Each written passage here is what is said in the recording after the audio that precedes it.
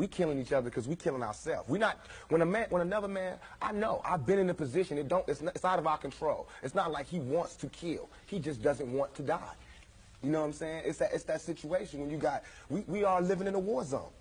It's not as easy as these people are making us think that they just got some criminal ass black kids with guns. It is not like that. We live in hell. We live in the gutter. We got us stacked up 80 deep in one building.